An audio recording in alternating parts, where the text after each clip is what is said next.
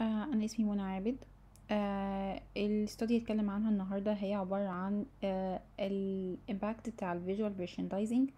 على الكونسيومر باينج behavior في الكلوزنج ريتيل ستورز ودي الستادي اتنشرت في سريلانكا سنة ألفين وستاشر. ال visual merchandising هو عبارة عن ال physical presentation لل product أو هو عبارة عن ال ال التكنيك اللي بيستخدم في ال store لعرض ال product أو الديكور بطريقة آه تعكس آه آه الصورة إيجابية عن ال store وتعمل attract لل customers وتحفزهم على ال buying decision الهدف من ال visual merchandising إن هو يعمل introduce أو explain لل products الموجودة أو لل new products وبيعمل promote لل store image كمان بيساعد في educating لل customers لل products أو service اللي موجودة في ال store بطريقة effective و creative. آه بتعمل setting لل company أو لل brand في exclusive آه positions. كمان هي عبارة عن تعمل link ما بين ال fashion وال product design وال marketing وده عن طريق إن إحنا بنعمل keeping لل product in focus وكمان هو عبارة عن combination ما بين ال creative وال technical وال operation parts اللي موجودة في ال business وأهم حاجة إن هي ال visual merchandising بتساعد على إن إحنا نعمل attract لل attentions بتاع ال customers وإن هي بتعمل له motivate لل buying decisions في وقت قليل جدا. ال study اتعملت في سريلانكا سنة 2016 اتنشرت عن طريق اوكسفورد business ال study بتتكلم عن ال retail market في سريلانكا وازاي هو growing fast خاصة ال clothing retail market وإن المجال volatile جدا وفي درجة عالية من ال competitions بين ال stores أو بين ال brands اللي موجودة هناك. لأن هي لتعمل attract لأكبر عدد ممكن من ال customers وإن هو كل brand بيحاول يبقى leading في ال market.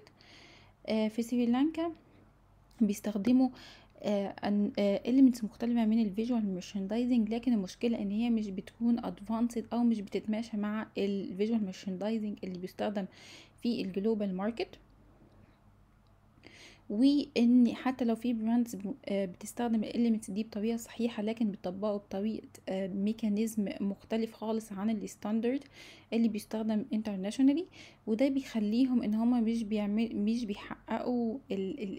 ال results اللي هي بيبقى بتبقى expected أو إن هما يعملوا attract لل customers بطريقة صحيحة وبالتالي بيكون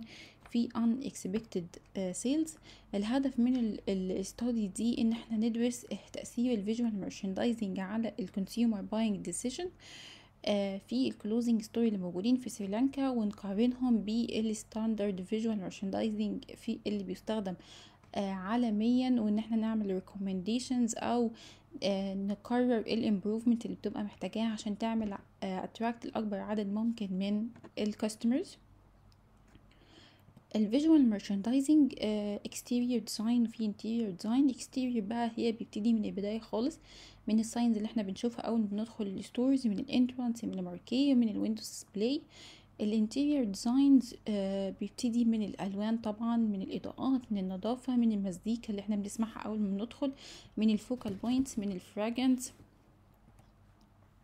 ال exterior design أول حاجة اللي هي ال exterior signs ال signs دي اللي هي بتكون عادة بتكون في البداية ودي بتكون معظمها بتكون informations أو directions أو بتكون عن ال ال ال لو في promotions معينة. ال marquee عبارة عن اللي هي ال signs اللي بتكون بتعمل آه بتوضح اللي هي ال identity بتاعة أو ال name لل لل store وبتكون مصنوعة في سريلانكا من الخشب أو بلاستيك أو ال metal أو من الجلد. ال entrance بيكون آه هو أول حاجة بتعمل impressions لل customers وده بيكون في سريلانكا عبارة عن straight أو angled ال window display هي ده عبارة عن fine arts لل لل merchandising آه بيعمل attention كبير جدا لل customers آه وكمان بيبقى فيه هو ال last update لل product اللي موجودة. ال window display في في سريلانكا بيكون closed أو semi closed أو opened أو angled المانيكان وده من أهم الحاجات اللي بتعمل attraction لل customers خصوصا في ال clothing retail لأن هي دي ببساطة بتعمل آه بتوضح لل customers how clothing it looks in actual. وبيكون المانيكان بيكون complete أو بيكون headless أو بيكون 3 quarters ال colors من أكتر الحاجات اللي بتخطف ال customers داخل ال stores أو من الخارج بيكون لها تأثير كبير جدا على فكرة ال selection أو ال rejection من ناحية ال shopping لل store ده آه الألوان بتكون على حسب هي بتكون warm أو cool آه أو trendy أو بيكون في naturals ال lighting الإضاءات بيكون ليها دور مهم جدا خصوصا في ال windows display بيكون آه آه بتكون spots على ال products الجديدة أو على الحاجات اللي هي ال trendy وكمان الإضاءات من الداخل إما بتكون warm وده بيدي إحساس اللي هو ال emotional theme أو بتكون آه flash light وده بيدي modern آه feel ال interior signs ال interior signs دي عادة بتكون اللي هي ال signs اللي من الداخل اللي هي بتعرف عارف لو في department معينة أو في events معينة أو اللي هي ال informations عن ال product ال space مهم جدا إن يبقى في space ما بين ال sales وما بين ال shopping ال space وده بيدي إحساس إن في variety وكمان استخدام سريلانكا الفكرة اللي هي ال multi level ده بيدي إن هو في variations في ال product في داخل ال store ال creative display اللي هو إن هو بيعملوا folding أو hanging method بطريقة creative وبطريقة frequent ال focal point من أكتر الحاجات اللي هي بتخطف ال customers ودي اللي هي بتكون area نستخدم فيها المانيكان نستخدم فيها designs مختلفة بطريقة creative وبنستخدم إضاءات بتكون بتكون spot على ال items اللي إحنا بنستخدمها. ال cleaning دي من أكتر الحاجات اللي هي كانت الناس جاوبت عنها في ال survey إن هي مهمة جدا وهي بتأثر على على عملية الشراء أو عملية اختيار ال store ال music في سريلانكا بيستخدموا ال western classical music داخل في ال background ما عدا ال brand سي اي بي ال fragrance بيستخدموا اللي هو بس ال air fresheners ده اللي بيستخدموه داخل ال store. ال survey ال survey هم اختاروا أربعة four four clothing retail shop بس. ال four دول استخدموا فيها two section section اول كان بيتكلم عن ال age وال gender ال section التاني كان بيتكلم عن تأثير ال visual merchandising واختاروا آه 12 elements من ال visual merchandising وازاي ده تأثيرهم؟ ستة وتسعين في المية من ال ال ال ال من ال samples كان ليهم كان ليهم إن هم accepted إن في تأثير ال visual merchandising ده على على ال buying decision عليهم. ده صحيح. ال result إني كان بنسبة كبيرة جدا من اتنين وسبعين في المية منهم كان female وتمانية وعشرين في المية منهم كان male اتنين وسبعين في المية كان الأعمار من خمسة وعشرين لأربعة وأربعين وده ال majority بتاعهم من خمسة وعشرين لأربعة وتلاتين ال survey result indicates إن في four أو five elements هم أهم elements موجودة أو اللي بتأثر عليهم وهي الويندو ديسبلاي الكالر كومباينيشنز المانيكان واللايتنينج واستخدام ال music في ال background كان ليهم تأثير كبير جدا. Recommendations بعد ما عرفنا ال result من ال survey